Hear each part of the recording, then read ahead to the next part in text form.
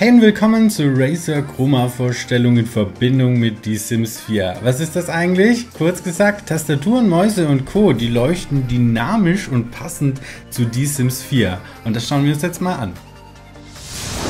Im Ladebalken gibt es zum Beispiel eine Leuchtanimation passend zum Plumbob. Die Geräte leuchten passend zur Farbe der Emotionen der Sims und noch mehr. Die Sims 4 unterstützt jetzt dieses Chroma genannte Feature und ein paar Razer Chroma Geräte hat mir Razer freundlicherweise für dieses Video zur Verfügung gestellt.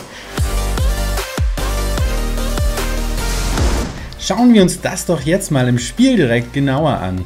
Und zwar sind wir hier im Ladebalken und ihr seht es hier schon, die Tastatur, Maus und auch das Maus-Bungee leuchten entsprechend passend zur Blumbob-Animation. Spannend finde ich aber vor allen Dingen auch die Leuchteffekte für die Emotionen.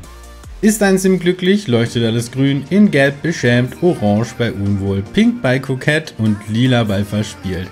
Das ist natürlich für alle Emotionen im Spiel entsprechend hinterlegt. Ein weiteres Feature sind die geheimen Welten. Die Leuchteffekte verhalten sich dabei entsprechend zur Umgebung der jeweiligen geheimen Welt.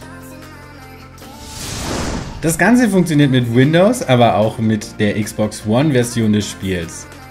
In den Die Sims 4 Spieleinstellungen müsst ihr zudem unter weiteres den Haken setzen bei dynamische Lichteffekte an Keyboard aktivieren und ihr benötigt die Razer Synapse Software, die es kostenlos als Download gibt. Dort könnt ihr das hinterlegte Die Sims 4 Profil aktivieren und den Geräten zuweisen, die Chroma unterstützen. Falls ihr euch dafür interessiert, ich habe hier die Razer Black Widow V3 Tastatur, die Razer Viper Maus und das Razer Maus Banshee.